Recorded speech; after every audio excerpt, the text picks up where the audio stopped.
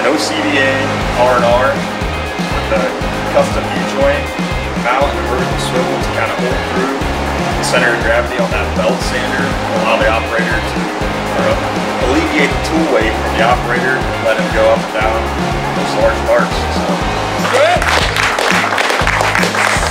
They're on the green, right? So Brandon's like, I tee off, it goes about 20 feet. Brandon gets, gets up and I think missed the ball three times, and then it went about 27 feet.